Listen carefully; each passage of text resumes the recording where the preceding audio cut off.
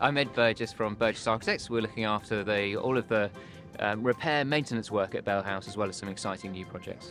When the charity took on the building, all of the heating was provided by some rather ancient boilers that had been installed in the 1970s.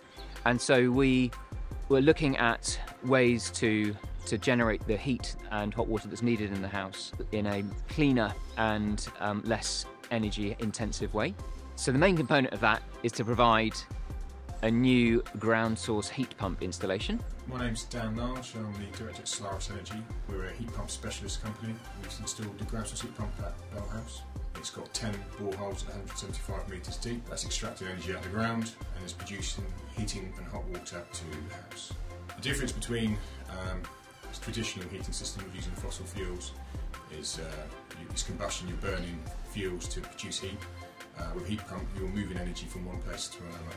We will be reducing the carbon cost of that heating, that energy, by nearly 70%. My name is Bean Beanland. I have a I've been involved in the ground source or heat pump industry indeed um, since 2008 deploying heat pumps is so carbon beneficial. So in the urban environment, 25% of air pollution problems are caused by burning gas for heat. Clearly, drilling boreholes in the in the garden was going to make a bit of a mess.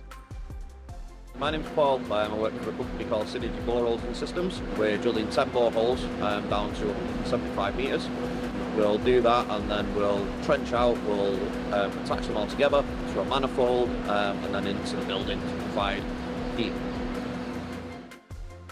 We had the unexploded ordnance issue at, at Bell House because we knew there had been a strike. There was a record of a strike during the Second World War in the front garden, no less. So, uh, and we had to have um, somebody on site while we were drilling. And for the first 10 metres or so of each borehole, we had to drill a metre or two, withdraw the drill, put in a test rig, check for anything that might be in the ground, put that out, put the drill bit back in again, drill another couple of metres, test again.